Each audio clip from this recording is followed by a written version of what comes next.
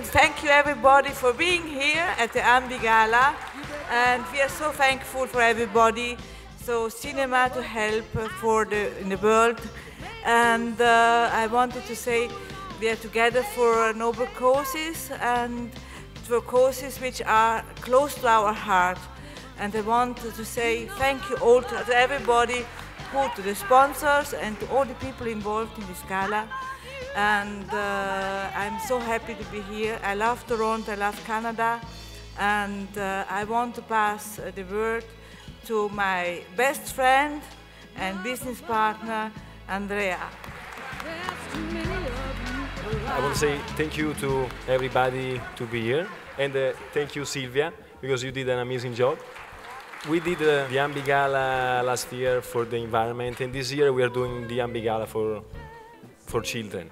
And um, I feel tonight for me is a very important night because in some way tonight represents also my life. I come from a poor family and uh, when I was 15 I decided to produce uh, my first movie. I had uh, two big problems. I didn't have any money, and I was uh, I had a very I, I, had a very big stutter. To say one normal sentence maybe take one week, no? So, so this is the and my collaborator who, who helped me to go around in my town to find investor in Cassino. He had another speech problem. He, he, he, he cannot pronounce the R. So, and his name was Rinaldo. So, no?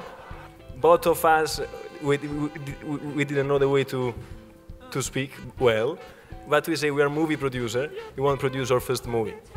So these people in this town, they give us the money to produce our first movie, and then we was available to produce the movie, to do the distribution, and to pay back them, everybody.